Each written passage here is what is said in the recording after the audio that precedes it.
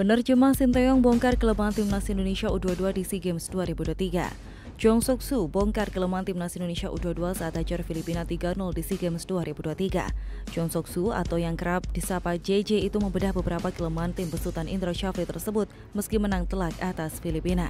Seperti diketahui, Garuda sukses mengalahkan Filipina U22 dengan skor 3-0 dalam laga grup A SEA Games 2023. Pertandingan tersebut digelar di Olympic Stadium Phnom Penh pada Sabtu 29 April lalu. Gol-gol kemenangan timnas Indonesia U22 atas Filipina masing-masing dicetak oleh Marcelino Ferdinand, Irfan Jauhari, dan Muhammad Fajar Fatur Rahman. Meski menang telak, tim besutan Indra Syafri itu mendapatkan kritikan dari penerjemah Sinteyong yaitu JJ.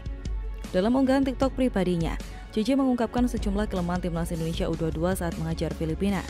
Salah satunya, para pemain bertahan Garuda Muda dalam hal ini Rizky Rito CS tampaknya leha-leha alias tidak cepat-cepat mendekati kiper ketika di pressing lawan. Lebih lanjut, JJ juga menyemprot kiper timnas Indonesia U22 Hernando Ari yang seharusnya bisa menguasai bola lebih tenang dengan kakinya, bukan hanya bisa menangkap bola saja.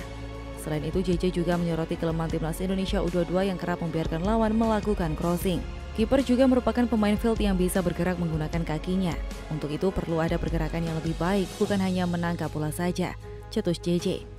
Pada menit ke-37 memang bukan momen ini saja. Ada beberapa lawan yang dibiarkan melakukan crossing. Harusnya datang mendekati biar tidak bisa melakukan crossing. Karena kalau dikasih crossing sama saja membahayakan kita sendiri. Itu bisa menjadi gol. Jadi jangan sampai lawan biarkan melakukan crossing. Lanjut JJ. Terakhir, JJ juga menyoroti kesalahan pemain sayap timnas Indonesia U22 Muhammad Fajar Fatur Rahman yang mendilai waktu. Menurutnya hal itu tidak perlu dilakukan karena bisa merugikan tim besutan Indra Syafri itu dengan mendapat kartu kuning. Selain kelemahan, JJ juga mengakui timnas Indonesia U22 banyak kelebihannya.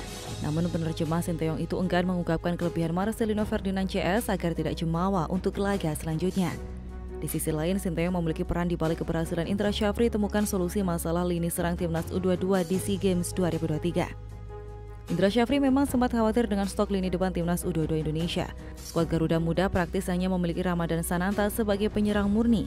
Penyelesaian akhir menjadi masalah utama timnas U23 Indonesia selama SEA Games 2023. Terlihat dari tiga laga uji coba, tim besutan Indra Syafri itu hanya mampu mencetak tiga gol. Untuk mengantisipasi lini depan yang tumpul, Indra Syafri menerapkan strategi cadangan di SEA Games 2023. Taktiknya menempatkan dua gelandang dengan tipikal menyerang, Marcelino Ferdinand dan Beckham Putra Nugraha yang membawakan hasil di laga kontra Filipina. Marcelino Ferdinand yang sudah lama ditempa Sinteyong sejak di timnas U19 tampil sebagai pembeda di laga pembuka SEA Games 2023.